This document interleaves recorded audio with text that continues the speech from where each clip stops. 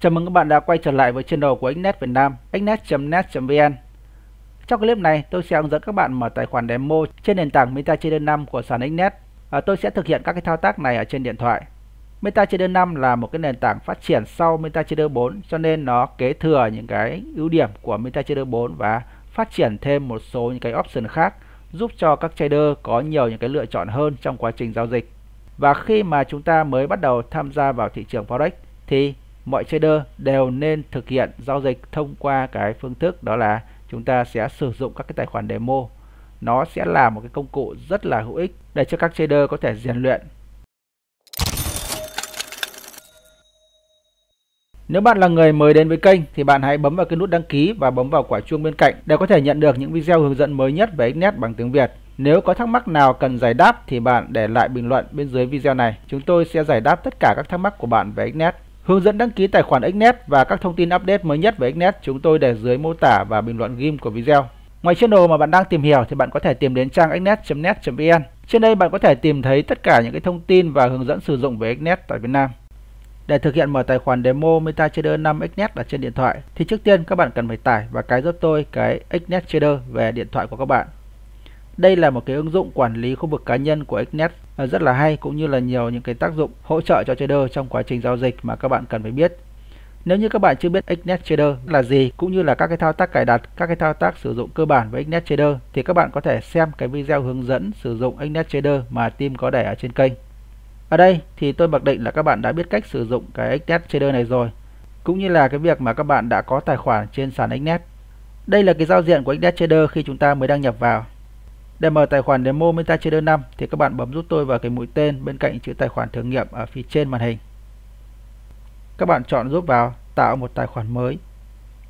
Ở đây để tạo tài khoản demo ấy, thì chúng ta sẽ bấm vào giúp tôi tài khoản thử nghiệm. Các bạn thấy là Xnet nó cung cấp cho chúng ta hai cái loại nền tảng đó là MetaTrader 4 và MetaTrader 5. Hiện tại thì nó đang ở cái tab MetaTrader 5 chúng ta muốn tạo tài khoản demo MetaTrader năm thì à, chúng ta sẽ giữ nguyên cái tab này. Kéo xuống bên dưới thì các bạn sẽ thấy Xnet cung cấp cho chúng ta bốn cái loại tài khoản demo MetaTrader năm. Đó là tài khoản Standard, tài khoản Pro, Zero và tài khoản do Split các cái thông tin cơ bản của tài khoản thì nó thể hiện ngay phía dưới tên của tài khoản. Ví dụ như là đòn bẩy tối đa của loại tài khoản là gì chênh lệch tối thiểu hay là cái split tối thiểu khi mà chúng ta giao dịch các cái sản phẩm trên uh, tài khoản và tiếp theo đó là thông tin về việc là tài khoản đó nó có tính phí hoa hồng hay không. Đó, thì chúng ta sẽ thấy luôn ở trên này. Được chưa? tùy thuộc vào cái chiến lược giao dịch cũng như là cái phong cách giao dịch của các bạn ạ, thì các bạn sẽ chọn đến cái tài khoản cho nó phù hợp. Các bạn nên hướng đến chọn cái tài khoản demo. Nó giống như là cái tài khoản zin mà sau này các bạn dự kiến mở. Những vấn đề gì mà chúng ta cần phải quan tâm ạ? Cái thứ nhất đó là loại tài khoản, đó là loại tài khoản gì? Cái thứ hai cái số tiền ban đầu mà các bạn dự định sẽ nạp vào cái tài khoản zin đó là bao nhiêu? Đó, thế thì khi chúng ta tạo cái tài khoản demo thì chúng ta cũng sẽ để cái số tiền ban đầu trong cái tài khoản demo nó bằng với cái số tiền mà các bạn dự kiến các bạn sẽ nạp vào cho cái lần nạp đầu tiên, các bạn nhé. Tương tự như vậy, về đòn bẩy thì chúng ta cũng sẽ chọn đòn bẩy giống như là cái đòn bẩy tài khoản zin mà chúng ta dự định mở.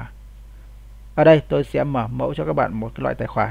Các cái loại tài khoản khác thì các bạn thực hiện tương tự nhé ví dụ ở đây, tôi sẽ mở cái tài khoản Pro. Tôi chọn vào Pro này. Trong phần này thì chúng ta sẽ lựa chọn những cái thiết lập tài khoản. Chúng ta sẽ chọn đơn vị tiền tệ. Ở đây nó đang để mặc định là đô la. Các bạn cũng có thể chuyển sang cái tiền khác. Các bạn bấm vào đô la đó này. Đó. Thì nó có rất là nhiều những cái loại tiền khác để cho các bạn lựa chọn. Tôi quen sử dụng cái loại tiền đô la thì tôi sẽ để ở đây là đô la. Tiếp theo, chúng ta sẽ chọn đòn bẩy. Các bạn sẽ chọn cái đòn bẩy tương ứng giống như là cái đòn bẩy mà các bạn muốn lựa chọn cho cái tài khoản zin. Đó, nó sẽ phù hợp với cái phong cách giao dịch của các bạn nhé. Và đối với những cái trader mới thì chúng ta cũng nên hướng đến việc sử dụng những cái đòn bẩy nhỏ thôi. Nó sẽ giảm cái rủi ro cho cái tài khoản của chúng ta. Ví dụ đây, tôi chọn đòn bẩy 1 trên 50 bước tiếp theo, chúng ta sẽ đặt tên cho cái tài khoản. Các bạn bấm vào tài khoản của tôi. Các bạn đặt tên cho cái tài khoản này. Sau khi đặt tên cho tài khoản xong thì chúng ta sẽ bấm vào tiếp tục trong cái phần này thì chúng ta sẽ cần phải nhập mật khẩu giao dịch cho cái tài khoản. Các bạn lưu ý cái mật khẩu này nó cần phải thỏa mãn các cái điều kiện mà nó ghi ở cái phần phía dưới đây. Đó là gì ạ? Mật khẩu của bạn phải chứa từ 8 đến 15 ký tự, phải gồm cả số, chữ cái tiếng Anh, viết thường và viết hoa. Các bạn lưu ý là các bạn cần phải nhớ cái mật khẩu này để sau này các bạn còn phải đăng nhập vào cái nền tảng MetaTrader 5 để tiến hành giao dịch các bạn nhé. Sau khi đặt mật khẩu thỏa mãn những cái điều kiện của Xnet xong thì chúng ta sẽ bấm vào OK. Và đây các bạn thấy chúng ta đã tạo xong cái tài khoản demo các bạn nhé.